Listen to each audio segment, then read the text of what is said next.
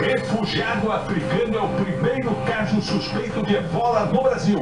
Ele veio da Guiné, o terceiro país com maior número de casos. O resultado do exame deve sair em 24 horas. Fogo e destruição em favela de São Paulo. O incêndio começou com briga de casal e deixou 400 desabrigados. O governo de São Paulo reforça policiamento no Morumbi, bairro rico da cidade, depois do aumento da violência. Em Brasília, um idoso é agredido no trânsito. O escândalo da Petrobras. A presidente Dilma questiona a divulgação de depoimento de ex-diretor sob sigilo de justiça.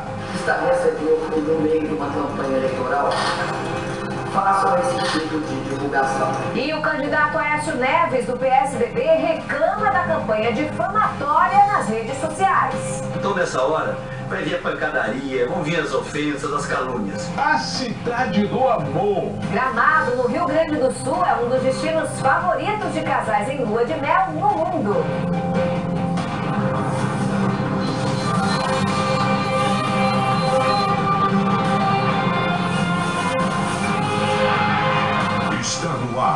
Ar o SBT Brasil, com Carlos Nascimento e Raquel Sherazade. Boa noite. Boa noite. O Brasil tem o primeiro caso suspeito de ebola. O resultado do exame deve sair amanhã. É, o paciente, um africano que veio da Guiné, está isolado no Rio de Janeiro e, segundo o Ministério da Saúde, a situação está sob controle. E o posto de saúde que atendeu o africano em Cascavel, no oeste do Paraná, passou por uma desinfecção. 68 pessoas, entre funcionários e pacientes que tiveram algum tipo de contato com o africano, serão monitoradas. Uma briga de casal pode ter provocado um incêndio que destruiu uma favela em São Paulo. 400 moradores estão desabrigados. O Morumbi, bairro vizinho ao Butantã, onde aconteceu esse assalto, recebeu reforço na segurança hoje. Uma tentativa de conter a onda de crimes naquela região. Amostras do sangue do paciente suspeito de contaminação por ebola já chegaram ao Pará. O único laboratório equipado para identificar a presença do vírus no país funciona no estado. E você vai ver em instantes a cidade da lua de mel. Você vai saber por que Gramado está entre os destinos preferidos dos noivos. Uruguai implanta programa inédito para receber refugiados. O SBT Brasil viajou ao país vizinho para acompanhar a chegada de famílias sírias que escaparam da guerra. Nós voltamos já já.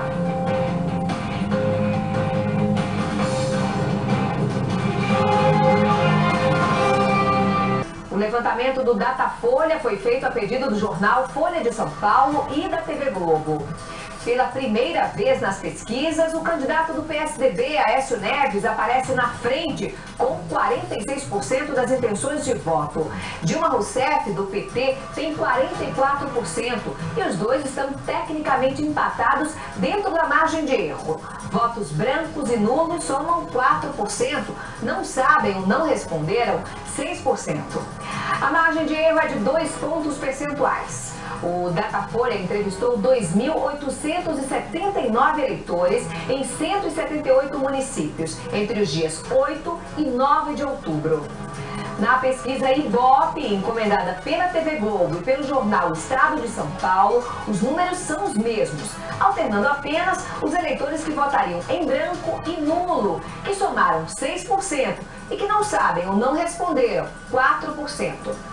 A margem de erro é de 2 pontos percentuais. O Ibope ouviu 3.010 eleitores em 205 municípios entre os dias 7 e 8 de outubro. O PSDB, Aécio Neves, passou o dia no Rio de Janeiro e conversou com a imprensa no final da tarde.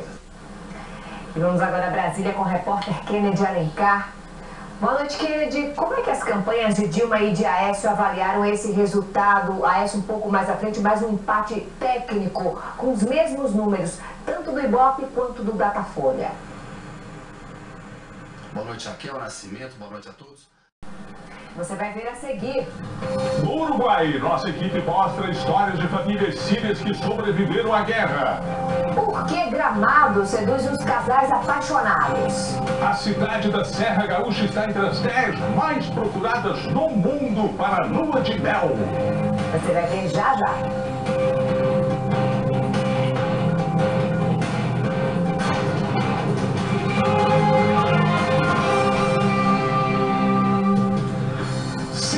50 mil pessoas deverão visitar a Basílica Nacional de Aparecida, no interior de São Paulo, neste domingo. Para homenagear a padroeira do Brasil, muitos fiéis vão a pé até a cidade. E o repórter Celito Esteves acompanhou os romeiros.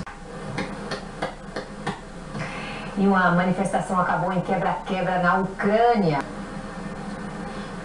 E o Uruguai começou a colocar em prática um plano inédito na América Latina para receber refugiados. A repórter Patrícia Vasconcelos acompanhou a chegada de um grupo de sírios ao país.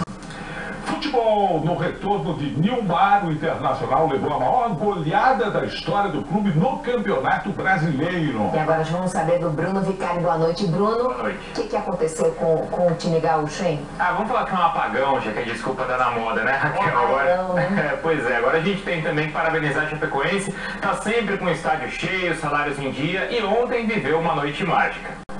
Os tablets são os mais novos aliados dos pais que querem sossego. É, mas vale bom senso, já que os médicos alertam que o uso excessivo pode ser prejudicial.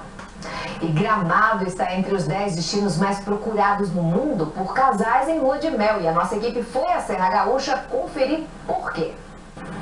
Nos dias 7 e 8 de novembro, o SBT vai realizar o Teleton, que arrecada doações para a ACD, Associação de Assistência à Criança Deficiente. A campanha possibilita tratamentos como o de João, que você vai conhecer agora.